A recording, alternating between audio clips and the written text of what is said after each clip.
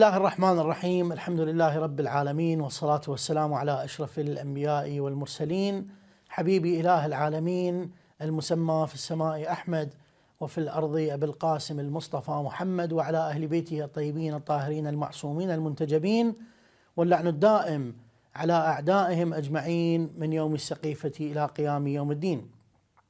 أحبائي المشاهدين مشاهدي قناة الإمام المهدي الفضائية السلام عليكم ورحمة الله وبركاته وكل عام وأنتم بخير.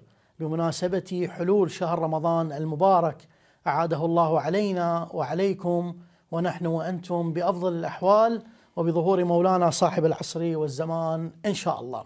حياكم الله وبياكم وحلقة جديدة من برنامج توضيح المسائل وضيفنا الكريم الدائم لهذا البرنامج المبارك سماحة السيد مناف الجزائري. حياكم الله سماحة السيد الله يحييك. الله الله يحفظك إن شاء الله. أستاذ حسين. الله يحفظك إن شاء الله. ويوفقك ويوفق جميع الكادر المحترم لهذه آمين. القناة المباركة باسم الإمام المهدي عجل الله تعالى سلام الله. الشريف. أحسنتم. نسأل الله سبحانه وتعالى أن يجعلنا وإياكم إن شاء الله من جنوده. اللهم قدامه. آمين. وأنتم من جنوده إن شاء الله سماحة السيد. الله. الله يحفظكم. موفقين لكل خير إن شاء الله. بما أنه شهر رمضان سماحة السيد. وبداية شهر رمضان في كل عام نجد هناك اختلاف. بين علمائنا الأفاضل الله يحفظهم حول الاستهلال ومسائل أخرى أيضا. ما هو سبب هذا الاختلاف سماحة السيد؟ نعم. بسم الله الرحمن الرحيم والحمد لله رب العالمين وصلى الله على سيدنا ونبينا محمد وآله الطاهرين. اللهم صل على محمد. اللهم صل على محمد وعلى محمد وعلى آل بيته الطيبين الطاهرين واللعنة الدائمة على أعدائهم أجمعين من الآن إلى قيام يوم الدين. رب اشرح لي صدري ويسر لي أمري واحلل عقدة من لساني يفقه قولي.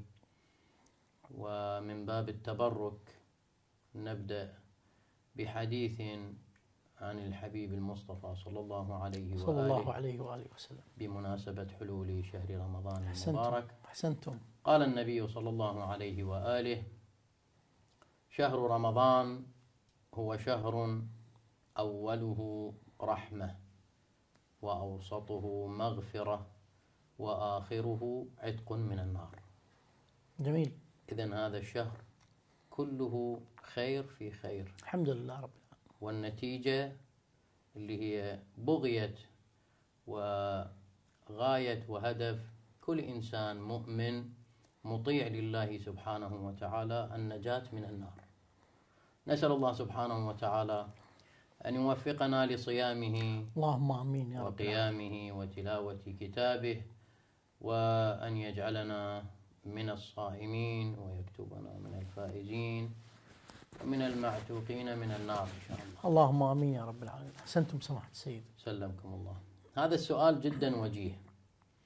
الكثير من الناس أنه عندما آه، يأتي إلى المسائل الفقهية ويتصفح. فتاوى الفقهاء يرى هناك اختلافات بالفتوى.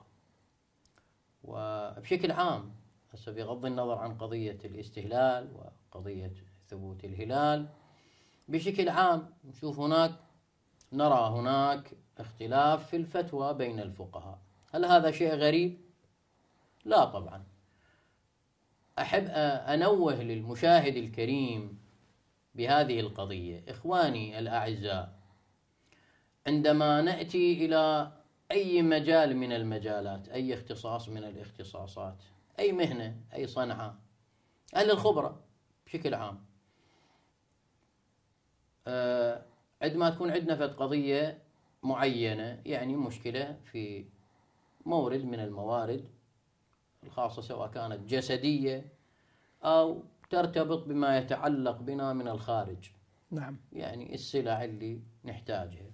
سواء كان بناء سواء كان تصليح مثلا آه، ناقلة سيارة أو غيرها. عندما نروح لأهل التخصص نروح للأول يجيبنا بشيء.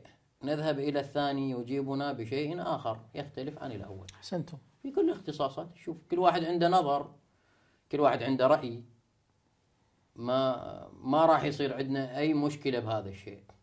لكن عندما تأتي المسألة في الدين وفي المسائل الشرعية للأسف الشديد يشوف ضجة بين الناس. لماذا هذا الاختلاف؟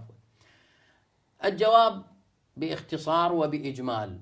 سبب اختلاف الفتوى بين العلماء بين الفقهاء خصوصا هو اختلاف الدليل. نعم. اختلاف الدليل. الدليل الذي يعتمد عليه الفقيه في استنباط الحكم الشرعي لا يخرج من أربع أدلة. عندنا إحنا الشيعة. نعم. الكتاب والسنة والإجماع والعقل. جميل. طبعا اللي هو مورد اتفاق عند جميع فقهائنا وعلمائنا الأول والثاني الكتاب والسنة. هذا شيء ما ما يختلف ما يختلف عليه اثنين يعني من المسلمين. فكيف الفقهاء زين. فالفقيه عندما يريد أن يأخذ حكما شرعيا يأتي لهذه الأدلة. إذا تعددت الأدلة مثلا على سبيل المثال أنا حتى لا أشتت ذهن المشاهد الكريم أجيب شاهد من القرآن الكريم حتى يتضح المعنى.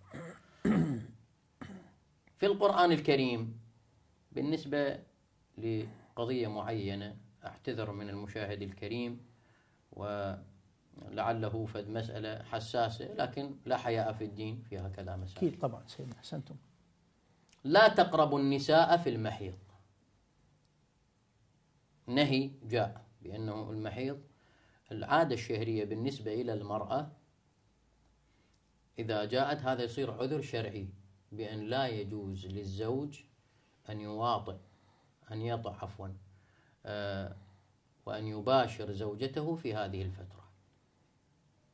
لا تقربوا النساء في المحيض حتى يطهرن. هاي قراءة وقراءة ثانية حتى يطهرن. يعني هو نفس الفعل مرة جاء بالتشديد ومرة جاء بالتخفيف. أحسنتم. شوف هذه الشدة. اللي إجت على الفعل حتى يطهرن غيرت بالفتوى.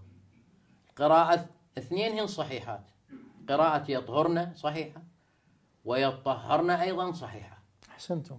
يعني شنو؟ يعني مثلا جاء عبد الله ابن مسعود اللي هو أحد القراء وقرأ هذه الآية عند النبي صلى الله عليه وآله والنبي لم آه، ينهاه. يعني سمع وسكت وهذا يسمونه تقرير يعني إمضاء على القراءة. جميل. اجى أبي بن كعب وقراها أيضا يم النبي لكن قراها يطهرن وذاك قراها يطهرن. مهم. هذا قراها بالتشديد وهذا قراها نعم. بالتخفيف. واثنينهن النبي صلى الله عليه وآله أيدهن جميل جدا. إذن تصير هذه القراءة القراءتين اثنين صحيحات. لكن هذه الشدة ماذا صنعت؟ الفقهاء جاءوا عند استنباط الحكم الشرعي بأن الرجل متى يجوز له أن يباشر زوجته؟ الذي قرأها بالتشديد أخذ القراءة الصحيحة عنده والمؤيدة عنده. بالتشديد. يطهرن نعم. قال لازم تغتسل غسل الحيض يلا يجوز. لزوجها أن يواطئها أحسنتم. أن يجامعها لازم تغتسل غسل الحيض بعدين إلى حق أنه يباشرها أما ذول اللي خذوا القراءة الثانية مهم. بالتخفيف يطهرن يطهرنا قال مجرد ما ينقطع دم الحيض ما يحتاج أن تغتسل بالإمكان المباشرة إذا شفت الشدة ماذا صنعت؟ سبحان الله. بالفتوى اختلفت. نعم. زين. جواز وعدم جواز صار بسبب شدة يعني. شدة واحدة صحيح. زين. فإذا اختلاف الفتوى سببها اختلاف الدليل. الدليل. أحسنتم. بالنسبة إلى قضية الاستهلال اللي إحنا في كل عام في كل سنة عندنا هذه المشكلة. زين؟ كذلك قضية ثبوت الهلال تعتمد على الأدلة. تعتمد على الأدلة. منهم من يقول خمسة أدلة موجودة منهم من يقول أربعة. نعم.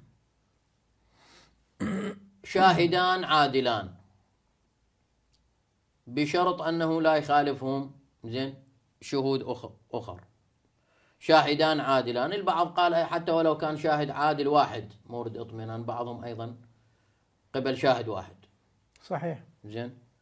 و لكن المشهور المتفق عليه بأنه يكون يصير شاهدان عادلان. أو الشخص نفسه هو يرى الهلال. صم للرؤيا وافطر للرؤيا. للرؤيا. زين؟ الشهرة زين؟ والشياع الذي يجلب الاطمئنان. يصير اطمئنان عند الناس بسبب ال- الشياع اللي صار برؤية الهلال. زين؟ وحكم الحاكم بعضهم من قال بأن حكم الحاكم أيضا مورد تأييد. والبعض أيضا قال بأنه إذا صار آه، يعني تواطؤ بالخبر اللي يوجب الاطمئنان يعني أقل درجة من الشياع. نعم. شهرة. أما قضية المبنى بعضهم من يقول بأن بالرؤيا المسلحة وبعضهم من يقول بالعين المجردة. مجردا بعضهم من يقول بأنه وهذا طبعا كله أدلة بها موجودة روايات نعم. أهل البيت عليهم السلام اللي سببت هذا تعدد الآراء والمباني. إذا كان الأفق يعني ليش مثلا يجي واحد يقول في البلدة الفلانية ثبت عندهم عيد بل إحنا ما ثبت عندنا عيد. قضية أيضا اتحاد الأفق وتعدد الأفق. من الفقهاء من يقول إذا آه، رؤية في بلدة عند المسلمين خلاص يثبت عند جميع المسلمين. أحسنتم. زين. وبعضهم من يقول لا. كل أفق كل دولة كل منطقة أفقها يختلف عن الأفق أحسنتم. الدولة الأخرى. فعلا. فهذا يصير سبب اختلاف في. قضية رؤية الهلال. أحسنتم. اذا بإجمال جدا مبسط وسلس أنه اختلاف الفتوى سببه ماذا؟ اختلاف الدليل وتعدد الدليل. نعم أحسنتم بارك الله فيك. الله هناك عبارة جدا جميلة سماحة السيد. نعم. دائما نستخدمها في المذهب. نحن أبناء الدليل اينما ماله؟ نميل. نميل. أحسنتم سماحة أحسنت. السيد. بارك الله فيكم. مولانا آه، هناك يوم يسمى بيوم الشك. نعم. ما هي أحكام يوم الشك تحديدا؟ بإيجاز لو سمحتم قبل الفاصل إن شاء الله. احسنت بارك الله فيكم. يوم الشك هو اليوم الذي يكون يعني يشك فيه. هل هل هو آخر الشهر أو أول الشهر الآتي. نعم. وعادة هذا إحنا نبتلي به وين؟ نبتلي به في بداية شهر رمضان ونهاية شهر رمضان. أحسنتم. يعني هل هو هذا آخر يوم من شهر شعبان أو أول يوم من شهر رمضان؟ هذا يسمونه يوم الشك. يعني مشكوك فيه. هل هو من شهر شعبان من الشهر السابق؟ نعم. أو من شهر رمضان. إنه الصائم شنو ينوي؟ أحسنتم نعم. يوم الشك من أحكامه المهمة جدا. آه، إذا كان يوم الشك في قضية بداية شهر رمضان. أنا ما أدري هذا اليوم. أول يوم من شهر رمضان لو آخر يوم من شهر شعبان. نعم. فهل يجب صيامه؟ واجب علي أن أصومه؟ لا. الفقهاء يقولون العلماء يقولون بأنه مو واجب صيامه. يوم الشك لا يجب صيامه. زين. هسه أنا إذا أجيت أريد أصوم أريد أصوم ذاك اليوم يوم الشك. نعم. شنو أنوي؟ ما هي النية التي أقصدها وأعتمد عليها لكي يصح صيامي؟ نعم. الفقهاء يقولون انويه أي نية اللي تريدها بس لا تنوي من شهر رمضان. جميل. لأنه مو ثابت أنه من شهر رمضان. ما دام مو ثابت من شهر رمضان فهو مو من شهر رمضان. اذا هو من شعبان. نعم. فإنويه من شعبان. سواء كان عندك مثلا قضاء في ذمتك إنويه قضاء ما في الذمة. جميل. إنويه من باب الاستحباب. استحباب. من شهر شعبان. نعم. زين. زين هسه أنا إجيت ونويت من أو حتى بعض الفقهاء عند بعض الفقهاء بأنه آه، يقولون بالنيه الملفقة أو المرددة يسمونها. النية المرددة. يعني شنو؟ انوي هالشكل إذا كان من شهر شعبان فهو من شعبان وإن كان من شهر رمضان فهو من, فهو من من رمضان شهر رمضان. نعم. هذه أيضا تصح عند كثير من الفقهاء. جميل جدا. بهيك النية المرددة أيضا. لكن الأفضل بأنه أنا أنوي من شنو؟ من شهر شعبان. نعم. إذا بأثناء ما أنه نويت من شهر شعبان وتبين بأنه من شهر رمضان متى ما تبين؟ قبل الظهر بعد الظهر قبل الغروب بدقائق. رأسا أبدل النية مات جميل جدا. أبدلها من ديش النية السابقة إلى أنه من شهر رمضان. إذا ثبت. إذا ثبت. أحسنتم. إذا تيقنت بأنه من شهر. أحسنتم سيدي أحسنتم. من بعد ما انتهيت زين انتهى اليوم أو انتهى الشهر وتبين بأنه هذا يوم الشك اللي أنا نويته من شهر شعبان هذا كان من شهر رمضان. يعني طلع الشهر ناقص. وثبت بأنه من شهر رمضان. هي الله سبحانه وتعالى يحسبه لك أنه من شهر رمضان. أحسنتم يعني مثل ما نقول ب... بالاصطلاح ال- العرفي اوتوماتيكيا يعني هو ينحسب من شهر رمضان. الدين يسر. أحسنتم أحسنتم. بارك الله فيكم فهذه آه، نقطة. بعد أكو نقطة مهمة جدا. إذا واحد ما صام نعم. مو قلنا لا يجب صوم يوم الشك ما صام ذاك اليوم. وتبين أنه من شهر رمضان. يجب عليه الصيام نعم إن لم يكن قد تناول شيء أي مفطر من المفطرات ما ارتكبها.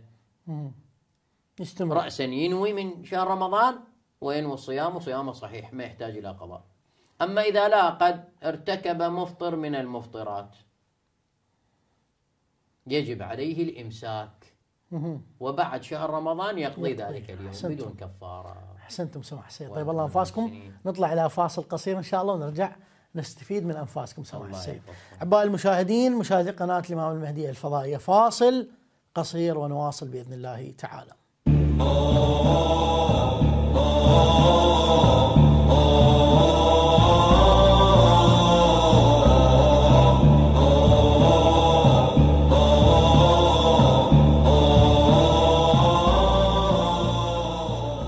حياكم الله أحبائي المشاهدين مشاهدي قناة الإمام المهدي الفضائية ونعود وإياكم لكي نكمل هذه الحلقة ببرنامج توضيح المسائل. مرة أخرى أرحب بضيفي الكريم سماحة السيد مناف الجزائري حياكم الله سماحة الله السيد. يحييك الله يحفظكم إن شاء الله ويعيدكم بعد أن تحدثنا عن اختلاف الفقهاء حول الاستهلال والمسائل الأخرى وأيضا تحدثنا عن يوم الشك.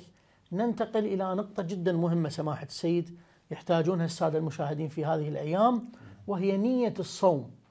شلون ننوي إنه نصوم شهر رمضان المبارك؟ أحسنتم الله يحفظكم. آه، طبعا كما قال النبي صلى الله عليه وآله إنما الأعمال بالنيات أحسنتم.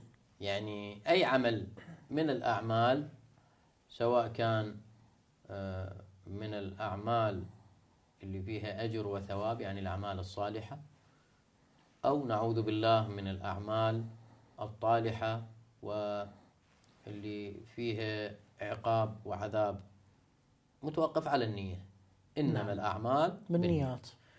ف من العبادات التي يجب فيها ومن أركانها النية هو الصيام. طبعا النية تكون قلبية لا يجب التلفظ بها. نعم. واجب انه واحد يتلفظ بن- بنية العبادة. أي. ففي قلبه يقصد بأنه طاعة لله. نعم. امتثالا لأمر الله.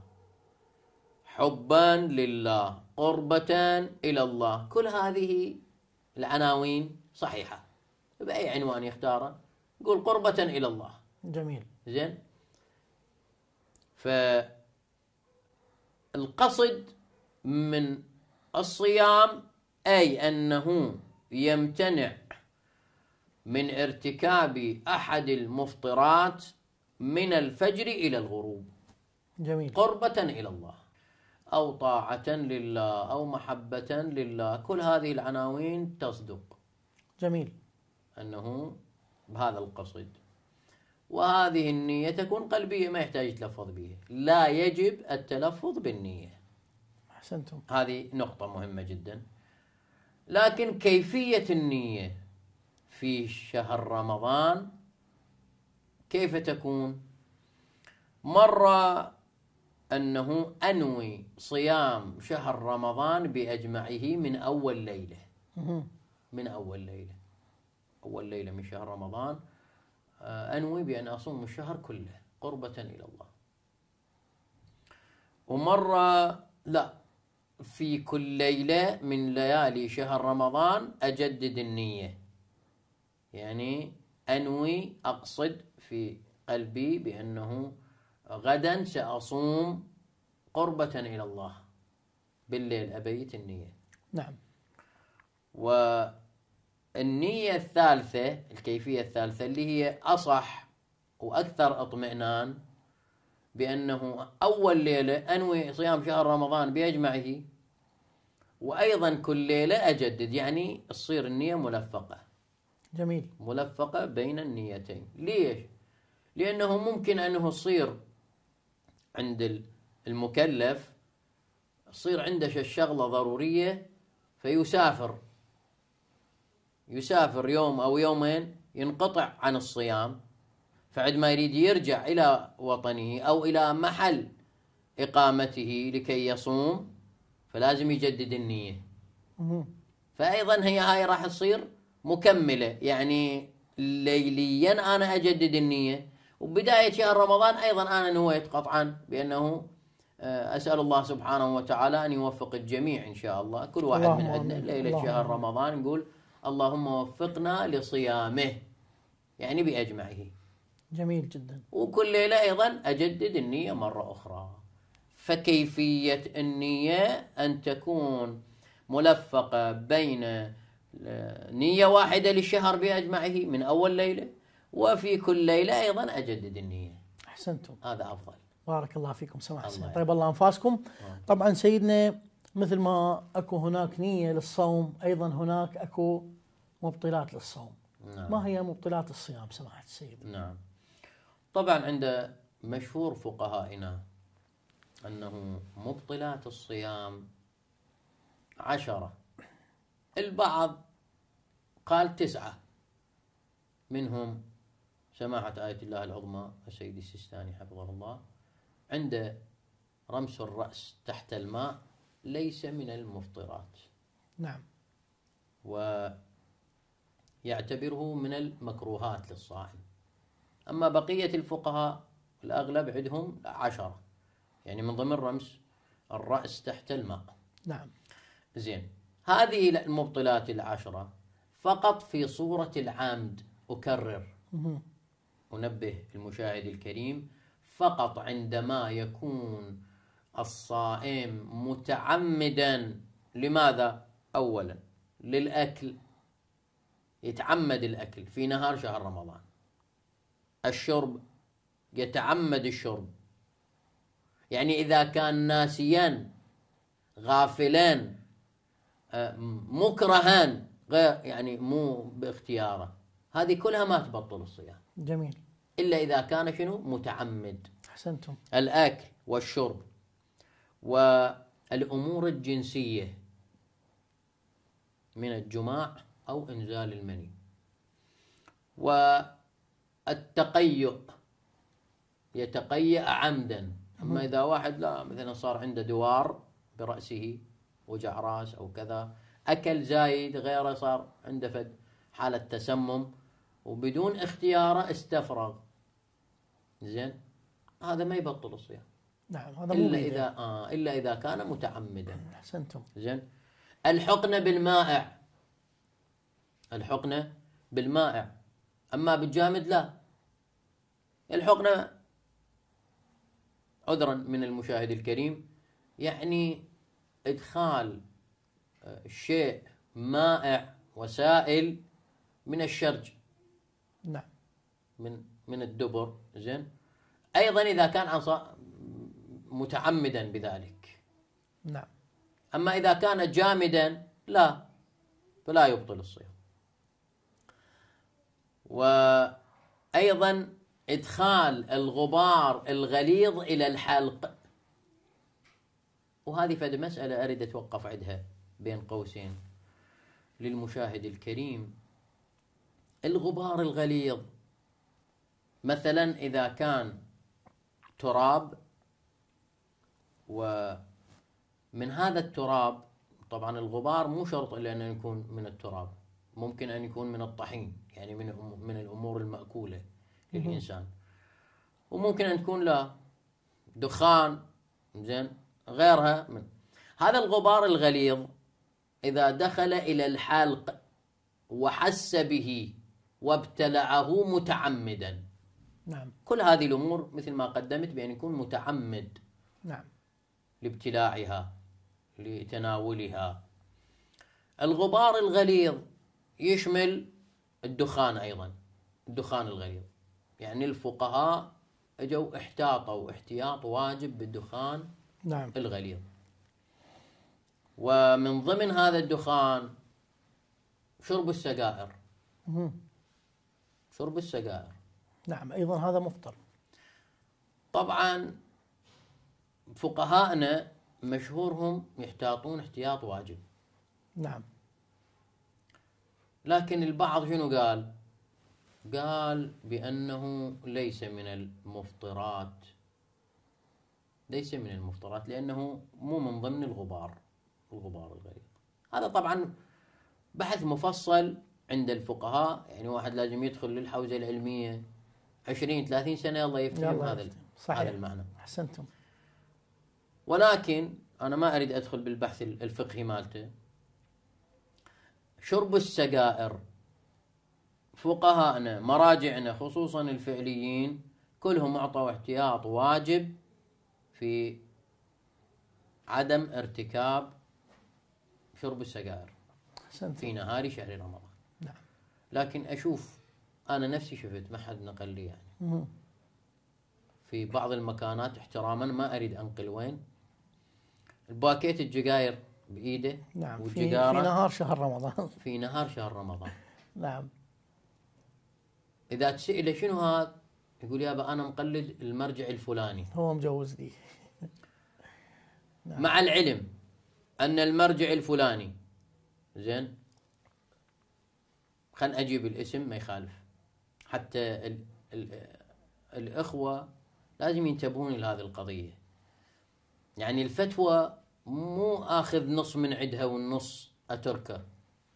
نعم. لازم أنتبه للفتوى وقصد ال- الفقيه عندما يصدر فتوى. السيد محمد صادق الصدر آية الله العظمى. سيد شي- محمد شهيد صادق، الثاني. الشهيد الثاني رحمة الله عليه. الله يعلم أنه جوز لكن جوز علما. جوز قال بأنه هذا اللي يصير عنده دوار شديد وجع راس يعني وما يتحمل أن يبقى بدون ما أنه يروح على جانب ياخذ السيجارة يشرب من عندها نفس أو نفسين بحيث أنه يرتاح حتى يهدأ. هذا الصداع اللي يصير عنده الشديد اللي لا طاقة له على تحمله يهدأ أما مو أنه أنا ماسك يعني بالأيام العادية ما يشوف الشباب هالشكل ماسك باكيت الجزائر بهاي إيده سبحان الله. والجزاره مولعة زين معملها بإيده الثانية ويفتر. ليش بس بشهر رمضان؟ مو هذه تصير إهانة لحرمة شهر رمضان. لازم نراعي هذه الأمور. يعني الآن عندما يجي واحد ويشوف شخص ماسك بيده سجاره ويدخن بالشارع يقول هذا صائم؟ لا طبعا. ما راح يشك بأنه هذا مو صائم. فاذا هذه يصير إهانة ويصير شنو؟ تشجيع للجيل اللي يجي بعدين. يعني شبابنا شباب المستقبل اللي بعدهم مو بالغين مو واجب عليهم الصيام عندما يشوف أخوه عندما يشوف أبوه عندما يشوف عمه زين عندما يشوف جاره بانه بهالطريقة هذه. هذا راح يشجع على انه ما راح يصوم في المستقبل. والسبب منه السبب هكذا أفراد. فلا تصير إهانة لحرمة شهر رمضان. والفتوى عندما أريد أنا أقول مقلد المرجع الفلاني أعرف بأنه الفتوى مالته بأي طريقة بأي شكل. كذلك المرحوم آية الله العظمى الشيخ اللنكراني أيضا كانت الفتوى مالته هالشكل بأنه ليس من المفطرات وما شاكل لكن بعدين قبل لا يتوفى رحمة الله عليه عدل عنها. وأيضا احتاط احتياط واجب بمسألة التدخين. هذه الأمور يجب أن تراعى في نهار شهر رمضان وحرمة شهر رمضان فوق كل هذه الأمور. يعني حتى أكو كثير من النساء. زين؟ أغلب النساء بأنه آه، يصير عندها عذر شرعي. العادة الشهرية عندما تجيها. زين؟ أو تكون نفساء ما يجب عليها الصيام. يعني من باب احترام ل وحرمة شهر رمضان تروح على جانب وتاكل طعامها. أو المريض مثلا معذور ما يقدر يصوم. مو بالشارع. يتجاهر بالأكل والشرب. نعم. احتراما لشهر رمضان. لشهر رمضان. أحسنتم سماح سيد طيب الله أنفاسكم. وبارك الله فيكم. إن شاء الله لنا حلقات قادمة في هذا الشهر المبارك. راح نستفيد من أنفاسكم المباركة. سماحة السيد مناف الجزائري شكرا جزيلا لكم. الله يحفظكم. نعم أحبائي المشاهدين مشاهدي قناة الإمام المهدي الفضائية هكذا نكون قد وصلنا وإياكم إلى نهاية هذه الحلقة من برنامج توضيح المسائل. إلى لقاء آخر إن شاء الله. تقبلوا تحياتي. أنا حسين الأميري السلام عليكم ورحمة الله وبركاته.